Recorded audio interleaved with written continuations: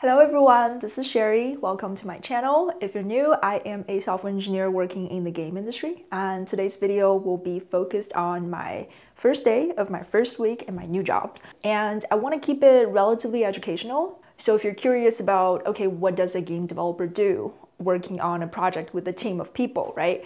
Um, I am going to show you my exact working hours and the tools that I use on a daily basis to accomplish my work.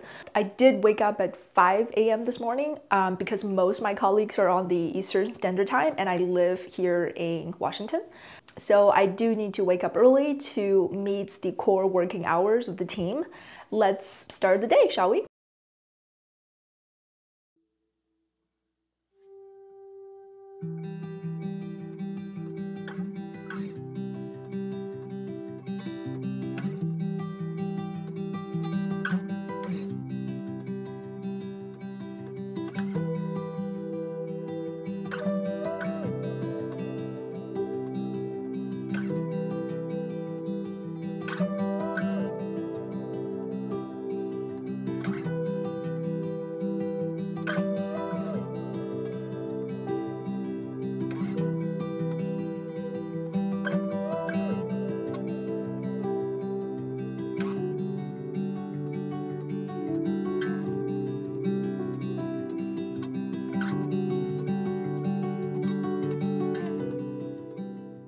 For my work laptop, I use uh, M2 Max. This is 32 gigabyte of memory and one terabyte of storage. Do I need an M2 Max? Probably not.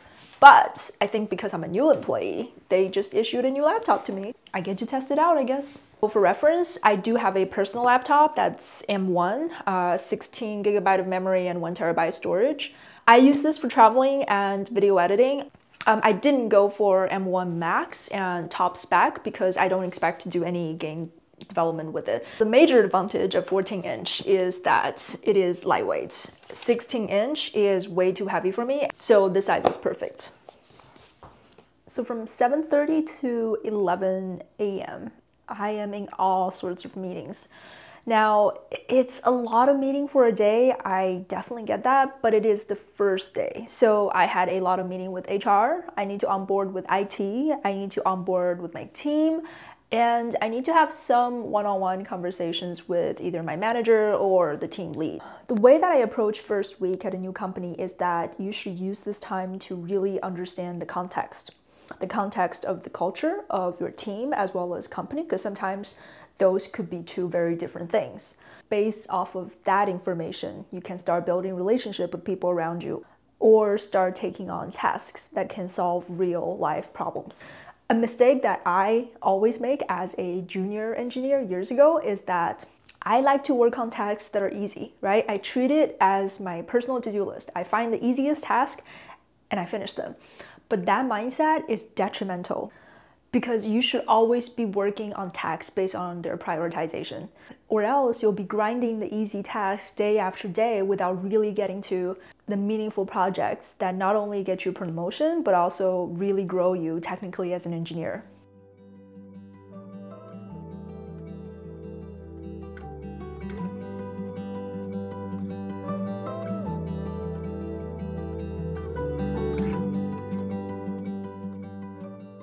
Um, I bought these books before my new job started because I intend to get better at these areas. So the first book is Working Effectively with Legacy Code. And the second book is Refactoring, Improving the Design of Existing Code. Essentially, I want to focus on software architecture and and really get to know some of the better practices and logical steps toward refactoring, right, or redesign of the code base. I do plan to share more of my favorites and talk about just stuff that I learned from whatever educational materials that I come across. Subscribe if you are curious about those.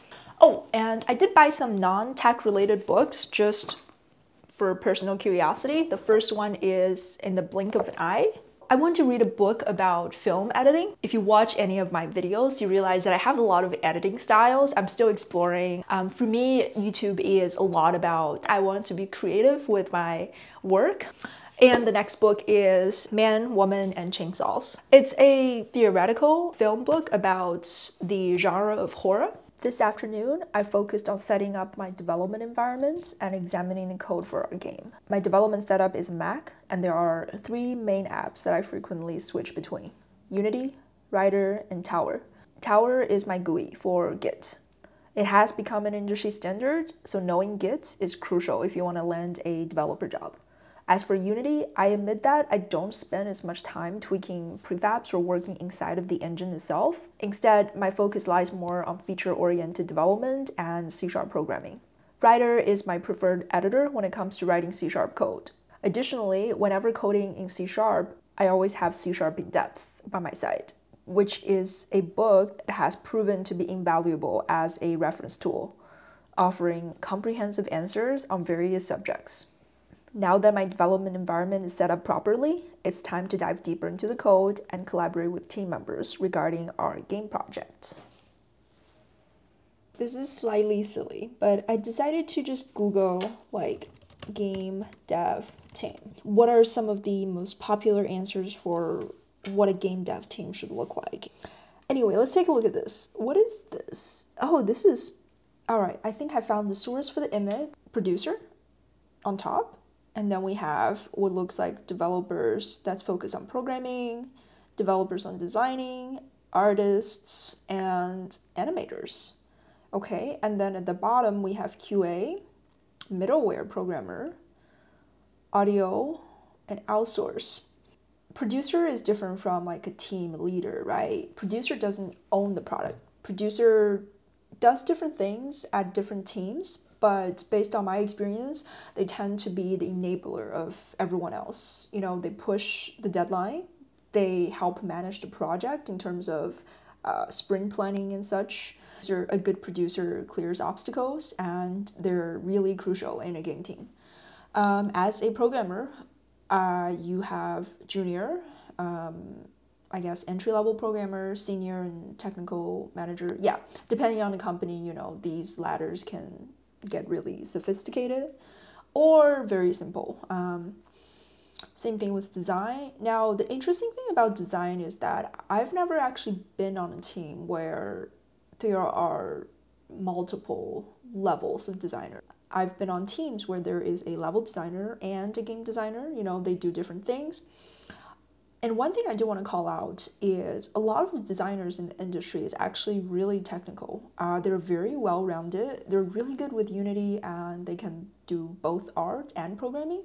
A major reason for why that's the case is because a lot of them has past histories of doing QA or they switch career from programmers, engineers to designer, or they switch career from 3D artist to designer. So you know, it's always very interesting to talk to designers because they have, they're just jack of all trades and they're really good at what they do. Um, okay, in terms of artists, from what I've experienced, I tend to see more senior artists being a lot more technical. Like, for example, they know Houdini, they know uh, shader, you know, materials very well. So I guess that comes with a lot of experiences. Okay, animators and technical artists, it depends on the team really. Like sometimes when you're working on a UI heavy, you may not have a technical artist, but instead you have UI or UX designers. Or on a team where there is not a TA, sometimes what happens is that engineers become the TA. QA is so important. It's just invaluable for gaming. I mean, if you play any games, you would know there are so many bad news or bad examples out there of games just being out with bug. The way that I see it is that I don't think it's QA's fault. I don't think it's developers' fault. I think it is utterly capitalism being extremely egoistic, right? They just want quick cash grab. They know they're gonna get backlash from the gamers, but they don't care because guess what? They can get the money and that's all they care about. Every game studio and every game I've worked on has outsourced some of its production. Sometimes it is audio design, other times it is uh, maybe even game features, like you can outsource a whole section of the game programming to like an outside team. And really being in the game industry is a highly collaborative work. Before I officially end the day, I do want to talk to you guys about the crunch culture or lack thereof. Admittedly, I did work 10 hours. Now, by the time I'm editing this video, my entire first week has passed, and I will give you the official data that I recorded for my first week. I worked 10 hours on Monday, 7 hours on Tuesday, 10 hours on Wednesday. I personally think being in the game industry as an engineer, you will have infinite amount of work, right? There's always more tasks and backlog. And sometimes you even have to sort of marinate an idea in your head, right, for hours before you actually get to a solution. This is what happened to me on Wednesday. I w- now, do I consider that overworking? Some people might say that's overworking, right? You're working 10 hours, right? You're getting paid for, you know, 8 hours per day.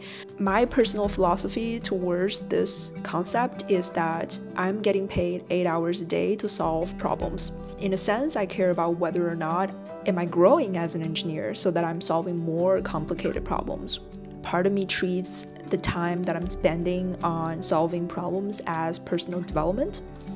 But also, I am very conscious of the amount of time that I spend working instead of doing other things or developing personal interests or just plain, right, relax.